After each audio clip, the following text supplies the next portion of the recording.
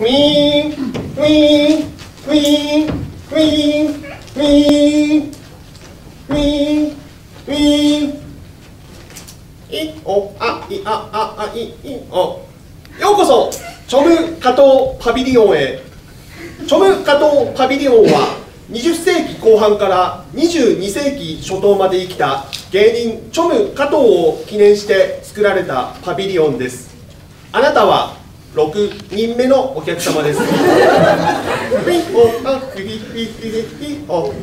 ップページです。コンテンツを選んでください。チョム加藤の生き様。チョム加藤の親戚。たった一人の芋煮会。え？机がない。ホームレスジピホハフヒヒヒヒハチョム加藤の親戚仙台市若林区河原町1丁目6-7平賀道職業ウィーン少年合唱団追っかけ。トップページに戻りました。コンテンツを選んでください。ピッホあチョム加藤の初恋。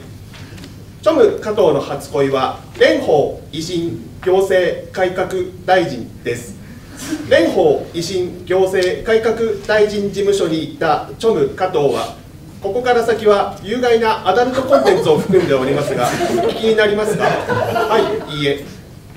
ほはほひひひひはトップページに戻りました。コンテンツが選ばれました。チョム加藤の名言。ウィホハホヒヒヒヒハ服がダサいんじゃない。俺がダサいんだ。ト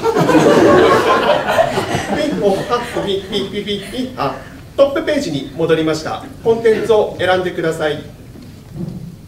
コンテンツが選ばれました。チョム加藤の似てないモノマネ。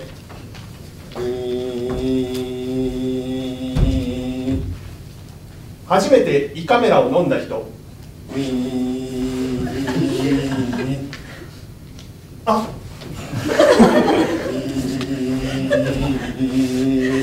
トップページに戻りました。チョム加藤の歴史。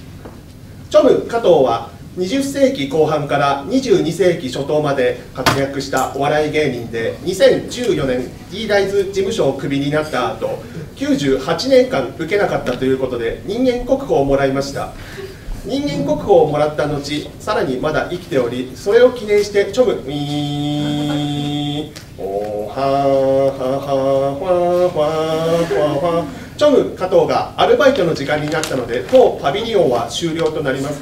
皆様ありがとうございました。ありがとうございました。